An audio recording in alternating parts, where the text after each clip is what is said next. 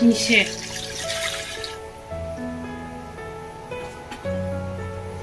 Paese segni, sorte sapie, se, come fanno a... Vai!